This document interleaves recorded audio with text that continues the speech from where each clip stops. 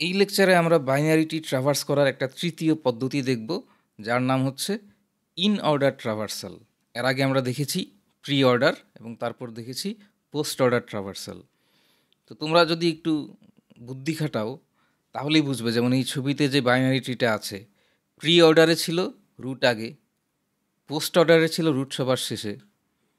তাই না? একবার ছিল সবার আগে, একবার ছিল সবার শেষে। তাহলে ইন অর্ডারের বেলায় কি হবে? ইন অর্ডারের বেলায় হচ্ছে রুটটা লেফট এবং রাইট নোডের মাঝখানে থাকবে। অর্থাৎ প্রথমে আমি লেফট সাবট্রিটা, যেমন এখানে এই ট্রিতে বি হচ্ছে রুট, তার লেফট চাইল্ডটা আগে ট্রাভার্স করব, তারপর বিকে ট্রাভার্স করব, তারপর সিকে ট্রাভার্স করব। প্রথমে লেফট, তারপর রুট, তারপর রাইট। তার মানে এখানে ইন বি হচ্ছে এই লেফট এবং রাইটের মধ্যে। তো এখানে কিন্তু সাবট্রি নাই, সুতরাং লেফট চাইল্ড হবে। তো আমি যদি ইন অর্ডার পদ্ধতিতে ট্রাভার্স করি, তাহলে হবে কি? এ বি সি আর আমরা একটু পরে উদাহরণ দেখব, যদি আরও বেশি নোট হতো সাবট্রি মানে এখানে আরও নোট থাকতো, এখানে আরও নোট থাকতো, তখন আমি কি করব? তো অ্যালগোরিদমটা যদি লিখি, তোমরা আগে দুইটা অ্যালগোরিদম দেখলে, এই অ্যালগোরিদম লিখতেও তোমাদের কোনো সমস্যা হবে না। তোমরা চাইলে নিজেরাও লেখার চেষ্টা করতে পারো, অথবা তোমরা এইভাবেও লিখতে পারো, যে ইন অর্ডার এখানে কি? ইনপুট হচ্ছে একটা ট্রি আর রুট সেই রুটটা জানা লাগবে আমার ট্রিয়ের প্রথমে বাম, বাঁ দিকের সাবট্রি ভিজিট করতে হবে, তারপর রুট নোট ভিজিট করতে হবে, তারপর ডান দিকের সাবট্রি ভিজিট করতে হবে। কিন্তু এতটুকু বললেই কিন্তু হবে না। তোমার কিন্তু এই কথাটা বলতে হবে যে, বাম দিকের সাবট্রিটা আবার ইন অর্ডার পদ্ধতিতে ভিজিট করতে হবে এবং ডান দিকের সাবট্রিটা ইন অর্ডার পদ্ধতিতে ভিজিট করতে হবে। তুমি যদি আবার বাম দিকের সাবট্রিটা প্রি অর্ডার পদ্ধতিতে ভিজিট করো আর ডান দিকের সাবট্রিটা পোস্ট অর্ডার পদ্ধতিতে ভিজিট করো, অথবা দুইটাই প্রি অর্ডার পদ্ধতিতে ভিজিট করো তাহলে তো হবে না, কারণ আমরা করতেছি হচ্ছে ইন অর্ডার সুতরাং আমরা যখন এই ইন অর্ডারের বেলায় সাবট্রিগুলো ভিজিট করব, এটাও ইন অর্ডার হতে হবে। যেমন প্রি এবং পোস্ট অর্ডারের বেলা ছিল। যে পোস্ট অর্ডারের সময় আমি কি করতাম?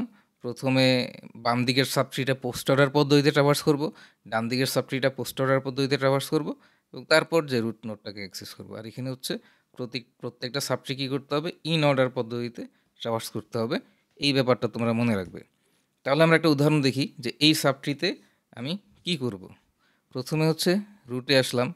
প্রথমে তার বাম দিকেরটাকে ভিজিট করতে হবে। তারপর রুটকে ভিজিট করব, তারপর ডান দিকে। তার বাম দিকের সাবট্রিটা হচ্ছে এইটা, তাই না? যেখান থেকে যেটা শুরু হইল। এই, এটা হচ্ছে দুইয়ের বাম দিকের সাবট্রি এখানেও আসো। এই সাবট্রির রুট হচ্ছে সাত।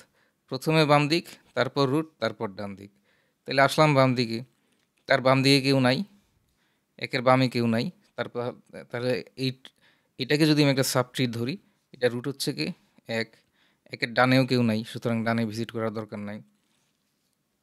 এখন সাতের বাম দিকের সাবট্রি আমি ভিজিট করে ফেললাম, এবার আমি রুট ভিজিট করব যে রুট হচ্ছে সাত, এবার ডান দিকের সাবট্রি ভিজিট করব, এটা রুট হচ্ছে ছয়, তার বামে আছে পাঁচ, পাঁচের বামে ডানে কেউ নাই, সুতরাং পাঁচের বামে যেতে কেউ নাই, সুতরাং আমি লিখব কি পাঁচ, পাঁচের ডানে কেউ নাই এবার আমি লিখব ছয়। মানে ছয়ের বাম দিক যেহেতু ভিজিট হয়ে গেল, এবার আমি রুটটাকে ভিজিট করলাম। এবার ছয়ের ডান দিকের সাবট্রিটাকে ভিজিট করব। তো এখানে আসলাম দশ। দশের বাম দিকে দেখি কেউ নাই। তাহলে দশকে আমি লিখব এবং তারপর আমি দেখব যে দশের ডান দিকেও কিন্তু কেউ নাই। তাহলে সাতের বাম দিক হয়ে গেল, সাত হয়ে গেল, সাতের ডান দিক হয়ে গেল। অর্থাৎ পুরা সাবট্রিটাই আমি ট্রাভার্স করে ফেললাম ইন অর্ডার পদ্ধতিতে। এখন দুইয়ের বাম দিকের সাব ট্রিটা কিন্তু শেষ, তাহলে এখন আমি কি করব? এখন আমি লিখব দুই, কারণ দুইটাকে ট্রাভার্স করব। এবার তার ডান দিকের সাব ট্রিতে আসো। এই যে নয়, এই সাব ট্রিতে ইয়েকে রুট হচ্ছে কে? নয়, তাই না? এই নয়ের বাম দিকে কেউ আছে? নাই, বাম দিকে কিছু নাই। তাহলে বাম দিকে যেহেতু কিছু নেই, এখন নয়কেই আমি ট্রাভার্স করব, বা নয়কে ভিজিট করব, এটা হবে নয়। এবার কি করব? ডান দিকের সাবট্রিটাকে ভিজিট করব, অর্থাৎ এই সাবট্রিটাকে ভিজিট করব। এখানে রুটে হচ্ছে আট, তার বামে হচ্ছে কি তিন। কিন্তু বামে আসব, তিনের বামে কেউ নাই, সুতরাং প্রথমে লিখব তিন। এবার তিনের ডানেও কেউ নাই, তাহলে আমি কি করব? আট লিখব, কারণ আটের বাম দিকের সাবট্রিটা আমার ট্রাভার্স হয়ে গেছে। এবার আটের ডান, ডানের, ডান দিকে আসব, আটের ডান দিকে আছে হচ্ছে চার, ডান দিকের সাবট্রিটা আমার ট্রাভার্স হয়ে গেল। তাহলে আমার এই যে রুট দুইয়ের বাম দিকেরটা হয়ে গেল, তারপর দুই লিখলাম, দুইয়ের ডান দিকেরটা হয়ে গেল, অর্থাৎ পুরো ট্রি আমার ইন অর্ডার পদ্ধতিতে ট্রাভার্স হয়ে গেল। এর পরের স্লাইডে আমি একটা ফাংশন দেখাবো যে ইন অর্ডার কীভাবে সি দিয়ে ইমপ্লিমেন্ট করতে হয়। তোমরা যেটা করবে মেইন ফাংশন থেকে এই ট্রিটা তৈরি করে তারপর দেখবে যে তোমার, তুমি যদি ইন অর্ডার ইমপ্লিমেন্ট করো, তোমার সাথে আমার এই সিকোয়েন্সটা মিলে কি না পরীক্ষায় কিন্তু তোমাদেরকে অ্যালগোরিদমই লিখতে বলা হবে এমন কোনো কথা নেই। পরীক্ষা পরীক্ষার সময় সাধারণত তোমাদেরকে একটা ট্রি দিয়ে বলা হয় যে এই ট্রিটা ইন অর্ডার পদ্ধতিতে ট্রাভার্স করলে কোন নোট কোন নোটের পরে আসবে। সেই সিরিয়ালটা লেখো। আমি এখানে যেমন দেখালাম, একই কথা প্রি অর্ডার এবং পোস্ট অর্ডারের ক্ষেত্রেও প্রযোজ্য। তো আসলে এবার আমরা ইমপ্লিমেন্টেশনটা দেখি যে সিতে আমরা কীভাবে কোড করব। আগের দুইটা কোড বুঝে থাকলে এটা লিখতে আসলে তোমাদের কোনো সমস্যা হবে না। এটা আমি নাম দেখাইলেও পারতাম আসলে, তাও দেখাই দিচ্ছি। এটা হচ্ছে ভয়েড রিটার্ন টাইপ কিছু রিটার্ন করবে না। একটা নোট নোট টাইপের পয়েন্টার নিচ্ছে, একদম শুরুর প্রথমবার যখন কল হবে তখন এটা হবে রুট লেফট যদি নালের সমান না হয়, তখন আমি কি করব? ইন অর্ডার ফাংশন কল করব কি? লেফট নালের সমান না মানে হচ্ছে লেফট নোট একটা আছে। তাহলে আমি সেই লেফট নোটটাকে কী করব?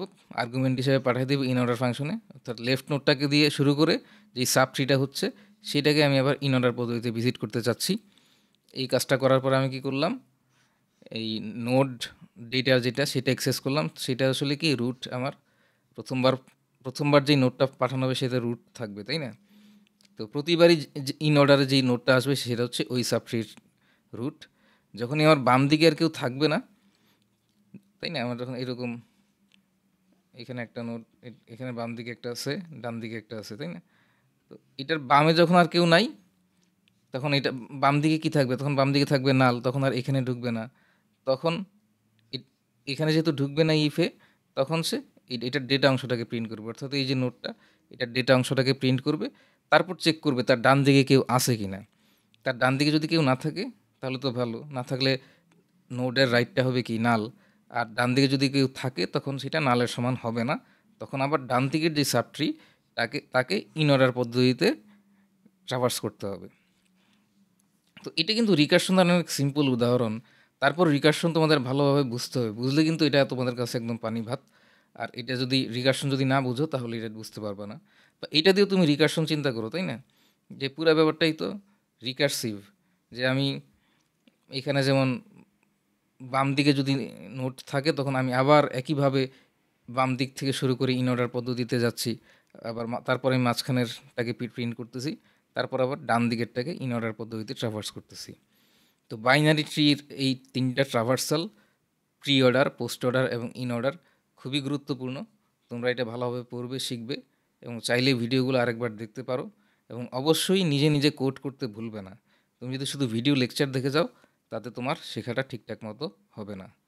তো পরের লেকচারে আবার দেখা হবে। ততক্ষণ পর্যন্ত তোমরা ভালো থাকো।